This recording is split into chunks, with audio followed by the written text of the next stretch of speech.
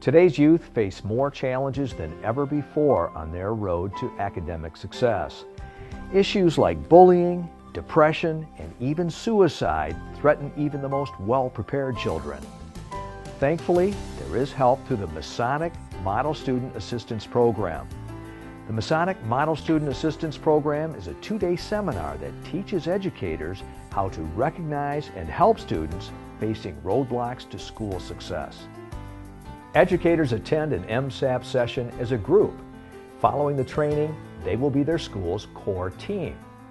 While at the MSAP session, educators learn how to assess behavior, academics, health, and attendance, and to identify and intervene with students at risk for depression, bullying, suicide, and substance abuse.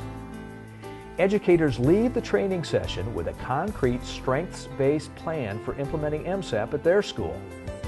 So far, this free program has trained over 44,000 teachers in 21 different states, positively impacting hundreds of thousands of children. For more information about the Michigan Masonic Charitable Foundation, call us at 1-800-994-7400 or visit us on the web at mmcfonline.org.